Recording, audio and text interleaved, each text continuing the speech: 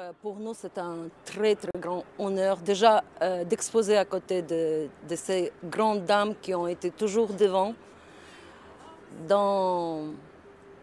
dans tout ce qui était et culturel et euh, mouvement de l'indépendance.